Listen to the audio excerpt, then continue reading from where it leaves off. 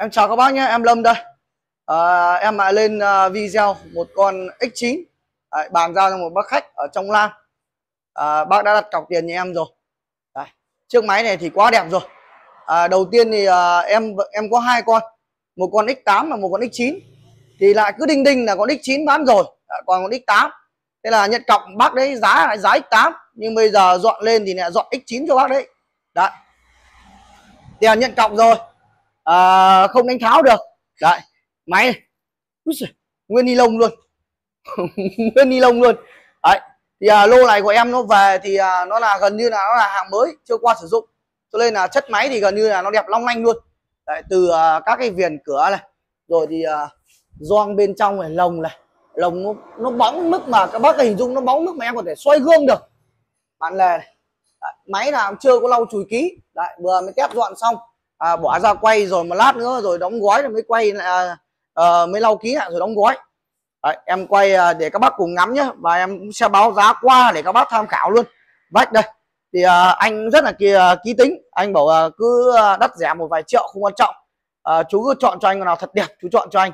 Thì thực ra thì cũng chỉ có một con này thôi thì cũng không có nhiều. Nên là chọn những con đẹp nhất à, cho bác cái rồi. Đấy thì à, đây. Đem hàng cửa tiệm đây tem này trăm thuế. Đây, vách viết đây. Nói chung thì con này nó khá là lét. Đấy. duy nhất là bị một cái vết gờ gờ ở đây. Đấy, nó rất là mờ mờ thôi, nó bị nhồi lên một tí. Bởi vì máy cũ thì nó vào mắt ta ra mắt người thôi. Nó một chín một mười thôi. Đấy nhưng không thể nào mà nó hoàn hảo được như một trăm phần trăm máy mới được. Bởi vì vận chuyển qua cái công đoạn vận chuyển về nhà thì nó phải cấn một tí, móp một tí. Nhưng mà để mà tổng thể một con máy, mình đánh giá nó thì à, nó là trên 90 phần trăm rồi con này thì uh, sản xuất đắt 2020 đấy. Đây TW 117X9 tem ở dưới đây. Đây. Tem dưới đắt 2020 giặt 10, 12 cân sấy 7 cân. Tổng trọng lượng của máy uh, dùng là 1170W đấy. Máy rất là đẹp. Đấy nó bị rách cái tem này. Thì lại cứ nghĩ nó là con X8 lại không nghĩ là con X9 thế lúc mà dọn xong thì xuôi thì mới để ý đây nó là một một một hai bảy x 9 bởi vì lên x8 x9 thì nó mới có cấp xà phòng tự động. Đấy con này thì uh, bọn em đã chỉnh cấp xà phòng tự động rồi. Đấy uh, cấp ngon chạy ngon. Đấy cho bác cái rồi. Đấy uh, máy thì uh, nó uh, rất là dễ dùng thôi. Uh, nó có các cái biểu tượng đây. Đấy đây hình biểu tượng chấm cảm hai bên này là đang hết nước xà phòng này. thì nó báo là hết này. Hiện hiện chấm cảm lên thì mình đổ vào mình đổ vào trong này. Đấy là xong. Đấy. Anh chỉ quay qua đâu bởi vì cái máy này thì gần như là những cái bác nào muốn dùng cái máy này thì bắt buộc là phải có kinh nghiệm rồi. Đấy. À, bác nhìn qua điện thoại em thì nó nháy nháy nháy nháy nhưng mà ngoài đời nó sẽ không nháy đâu nhá. Vì đây là hai cái cái cam chiếu màn hình này thì nó sẽ hiện cái đèn nét nó đang chiếu sáng lên. Đấy còn ở ngoài đời thì nó, nó, là đứng in nhá. Đấy. Rất là đẹp mình chọn chế độ xong xuôi cái là mình dùng thôi. Đấy, tất cả các chức năng thì uh, chạy ngon lành hết. Đấy. Ngon lành hết luôn. Đấy, đấy rất là ngon nhẹ luôn. Ly lông còn chưa bóc này. Đấy, ly lông màn hình bọc ừ, bảo vệ con nguyên này.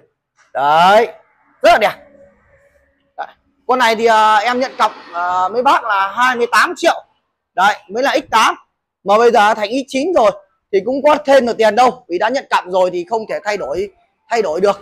Đấy. Thì uh, uh, bác nào mà đang quan tâm đến các dòng máy giặt thì cứ alo cho em. Thì hiện tại thì em chỉ còn x6 x5 A7 và A8 thôi. X uh, 8 X9 này thì nó rất là hiếm. Gần như là nó giá thành nó cao bọn em cũng không dám mua. Thứ hai là dùng những cái máy này thì yêu cầu là cũng phải giữ gìn hơn. Bởi vì thứ nhất là các cái dòng cảm ứng này thì các bác không được để ở trong nhà tắm. Bắt buộc phải để ở nơi thoáng mát. Bởi vì là nếu mà để trong nhà tắm hơi nước nóng ấy khi bác tắm ấy nó sẽ bốc hơi là nó sẽ hay bị vào màn hình là gây hiện tượng là chết cảm ứng. Mà chết cái cảm ứng này thì các bác sách tâm lý là 2 triệu 500 nghìn đồng một cái mặt cảm ứng này. Đấy thì nên là bắt buộc những cái dòng cái dòng máy này thì bắt buộc là bọn em bán cho những bác trẻ tuổi. Biết dùng điện thoại cảm ứng. Thứ hai là dùng cái dòng máy này yêu cầu nó cũng khắt khe hơn một chút.